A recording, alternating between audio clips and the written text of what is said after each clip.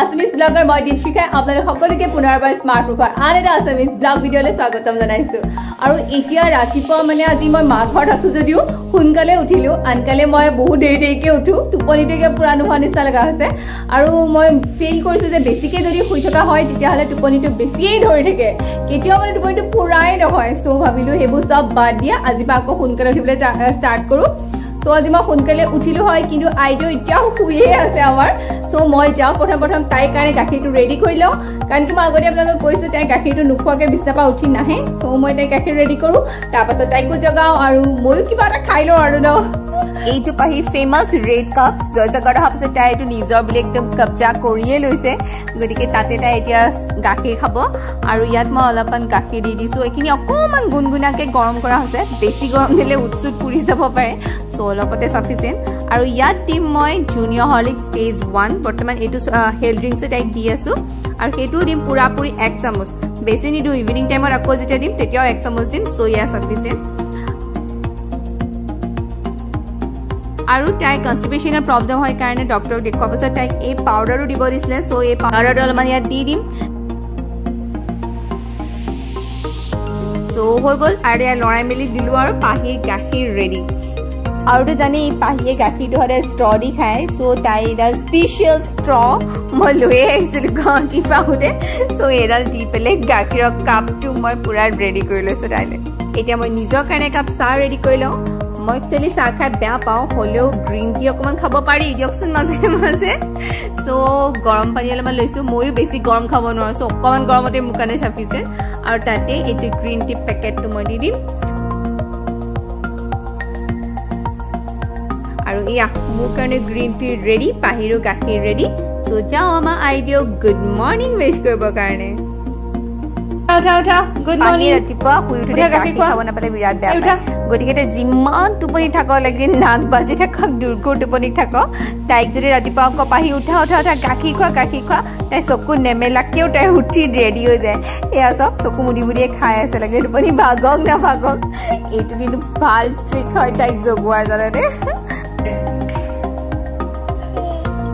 Good morning পাহি আকৌ শুবা নেকি তুমি আহা পাই চবকে মৰ্ণিং কৰি দিয়া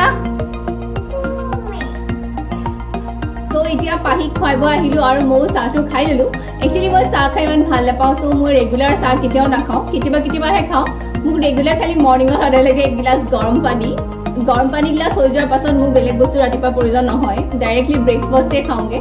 কিন্তু মানে কি হ'ল এইকেইদিন অকণমান কিবা ডিঙিটো খচখচাই থকা নিচিনা লাগিছে। একচুৱেলি ঠাণ্ডাটো আহি গৈছে আৰু এইকেইদিন খুব বেছি আইচক্ৰীম খালোঁ যে সেইকাৰণে। কি হ'ল অকণমান মায়ে কৈছে চাহ খাই দে ভাল পাবি। চ' মই সেইকাৰণে চাহ খাই দিলোঁ আজি অলপমান।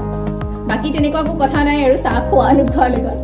আৰু এতিয়া আহি গ'ল আমাৰ উৎপতীয়া পাহি। মই তাইক ভাবিছিলোঁ ককা আইতাকৰ ওচৰত থৈ আহিছোঁ। অকণমান দেৰি খেলক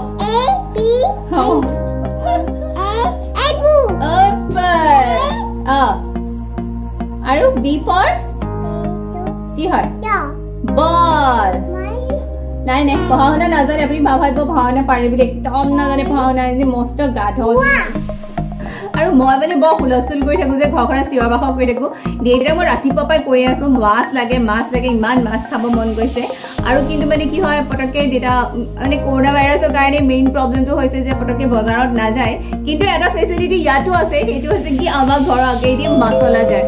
চ' অকণমান খালি খাপি দিব লগা হয় অকল সোনকালে উঠিব লগা হয়। তো তাৰপাছত যদি মাছৰ কাৰণে ৱেইট কৰা হয় মাছটো আহিব চিয়'ৰে ত' মাছ ওলাটো আহিলে দেউতাই মাছ ল'লে। মই কিন্তু দেউতাক সৰু মাছ ল'বৰ কাৰণে কৈছিলোঁ পাতত দিয়া খাবলৈ কি মন গৈছে আৰু কিমান টেষ্টি লাগে ন? আপোনালোকেতো জানেই ফ্লেটত তাত আমি কলপাতেই নাপাওঁ। চ' সেইটো খাবলৈ নাপাওঁৱেই কিন্তু ডাঙৰ মাছ পালোঁ। ত' ডাঙৰ মাছটো কি পাইছে সেইটোও নাজানো মই। দেউতাই খালি বাচি কুচি চাফ চিকুণ কৰি দিব। ত' ভাবিছোঁ এটা আইটেম বনাই ল'মগৈ তাৰ পৰা। আৰু আপোনালোককো দেখুৱাম কলপাতত দিয়া ডাঙৰ মাছটো কলপাতত কিদৰে দিওঁ সেইটো আপোনালোককো দেখুৱাম। চ' আপোনালোকেও যদি ইচ্ছা কৰে চাব পাৰিব। আপোনালোক সকলোৱে ইমান সঁহাৰি জনাইছে তাৰ কাৰণে ভাল লাগিলে। আৰু আপোনালোকে মোক ইমান মৰম দেখুৱাইছে গতিকে আপোনালোকৰ বহুত বহুত বহুত বহুত মৰমবোৰ শ্ব' কৰিবৰ কাৰণে মোৰ ভিডিঅ'টো প্লিজ এবাৰ শ্বেয়াৰ কৰি দিব যাতে সকলোৱে পাওক আৰু সকলোৰ লগত মই কানেক্ট হ'ব পাৰোঁ সকলোৱে বিচৰা মতে মই কিবা এটা কৰিব পাৰোঁ। এতিয়া আমাৰ মাছ বনোৱা কাৰ্যসূচীটো আৰম্ভ কৰোঁ। কি কি লাগে বাৰী অ' ট'ৰ পৰা গোটাই গোটাই আনিলোঁ আৰু মই এতিয়া। গোটেইখিনি সজাই মেলি লৈছোঁ। এতিয়া নেক্সট ষ্টেজত যাওঁ এটা লাগিব আমাক মিক্সাৰ গ্ৰাইণ্ডাৰ তাত প্ৰথমতে দিম আমি নৰসিংহ পাতখিনি ঘৰৰ একদম ফ্ৰেছ ফ্ৰেছ লগতে যাব টেঙামৰা পাত। আৰু এতিয়া আদাৰ টুকুৰাখিনি তাৰ পাছত নহৰু আৰু দিম ক্ৰমান্বয়ে নাৰিকলখিনি। এতিয়া মিক্সিটোত পুৰা ফুল স্পীডত ৰান কৰি দিওঁ লগতে আমাৰ গোটেইখিনি গ্ৰাইণ্ড ৰেডি হৈ যাব। ইয়াত মই জলকীয়া ইউজ কৰা নাছিলোঁ ঘৰৰ জলকীয়া একচুৱেলি এভেইলেবল নাছিলে সেইকাৰণে জলকীয়াৰ তেল অকণমানকৈ দি দিছোঁ। আৰু দিম ইয়াত এতিয়া অলপমান নিমখ। আকৌ এবাৰ মাৰি দিওঁ হৈ গ'ল। আমাৰ মিক্সাৰ কমপ্লিটলি ৰেডি এতিয়া এই গ্ৰীণ গ্ৰীণ পেষ্টটো দি দিম। আমি ধুনীয়া ধুনীয়া মাছখিনি ওপৰত শুৱে বায়ে আগে পিছে ওপৰে তলে মুঠতে ভালকে মুঠতে এইটো কোটেড কৰি দিম আৰু গোটেইটো আমি আধা ঘণ্টাৰ কাৰণে মেৰিনেট হ'বলৈ এৰি দিম। এতিয়া মেৰিনেট হৈ হৈ গ'ল আৰু আমাৰ বাৰী বা দেউতাই কাটি আনিলে কলপাতখন। এতিয়া কলপাতত ধুনীয়াকৈ এপিচ এপিচকৈ দি যাম আৰু অকণমান ইয়াৰ পেষ্টটো লগাই দিম। আৰু ধুনীয়াকৈ ফ'ল্ড কৰিব ফ'ল্ড কৰা কামটো আমাৰ যাব দেউতাৰ ওচৰত কাৰণ কি দেউতাই এইবোৰ কামত পাৰফেক্ট মোৰ এইবোৰ ভাল নহয় বা যি কি নহওক পেকিং হোৱাটো মেইন কথা। ইয়াত পেকিং হৈ গ'ল। আৰু মই কি কৰিছোঁ এইখিনি টাৱাৰ ওপৰত শিকিম গতিকে আমি যিখন ৰুটি বনোৱা স্পেচিয়েল টাৱা আছে যিখন লাহে লাহে বেয়া হৈ গৈছে সেইখন টাৱাৰ ওপৰতে মই সেইখন টাৱাই বৰ্তমান গেছৰ ওপৰত দি দিছোঁ। পুৰা ফুল ফ্লেমত দি দিছিলোঁ এইখন পুৰা গৰম হৈ আছে। ইয়াৰ ওপৰতে এটা এটাকৈ টোপোলাকেইটা দি যাম। এই টোপোলাখিনি এতিয়া দিয়া হৈ গ'ল আৰু অলপ দেৰি ঢাকি দিম। মাজে সময় লুতুৰাই বগাই থাকিম আৰু এইদৰে এইদৰে চাগে আমি পোন্ধৰ মিনিটমান ৰখাৰ পাছত এই মাছখিনি সম্পূৰ্ণৰূপে সিজি যাব। আৰু এয়া হৈ গ'ল আমাৰ সিজা। এতিয়া আহক আমি খুলি চাওঁ।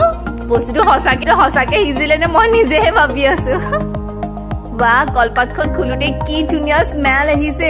আপোনালোকে বা স্মেলটো পাইছেনে? ভাবি লওক ভাবি লওক স্মেলটো নিজেই ভাবি লওক কলপাতৰ সৈতে কি ধুনীয়া স্মেল আহিছে। আৰু এয়া পুৰা ধুনীয়াকে সিজিছে নিচিনা লাগিছে। চাওকচোন দেখিতো মোৰ বহুতেই টেষ্টি লাগিছে। খালি অকলে অকলে নাখাওঁ। মা দেউতাহঁতৰ কাৰণে ৱেইট কৰিম। চবে একেলগে ভাতৰ লগত জুতি লগাই খাম আৰু। চ' আশা কৰিলোঁ আজি যোনটো মাছৰ ৰেচিপি বনাইছে সেইটো আপোনালোকৰ ভাল লাগিলে। যদি ভাল লাগিলে তেতিয়াহ'লে কিন্তু ঘৰত এবাৰ হ'লেও ট্ৰাই কৰি চাব। বস্তুখিনি ঘৰত পোৱাই যায় যিখিনি বস্তু মই ইউজ কৰিলোঁ গতিকে আৰামছে আপোনালোকে বনি যাব আৰু ভাতৰ লগত এটা স্পেচিয়েল আৰামছে ধুনীয়া ডিছ খাব পাৰিব।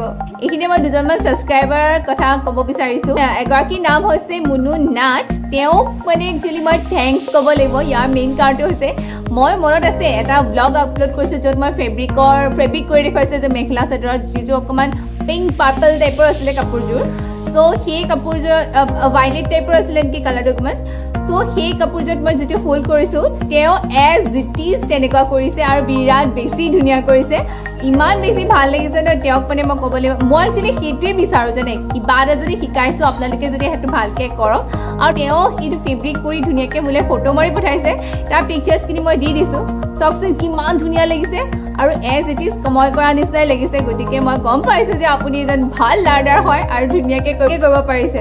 আপোনালোকেও যদি কিবা এনেকুৱা কৰিছে প্লিজ মোক আপোনালোকে ইনষ্টাত বা ফেচবুকত ইনবক্স আপোনালোকে মোক ফটো দিব। মই সেই ফটোজবোৰ ইয়াতো আপলোড কৰিব পাৰিম।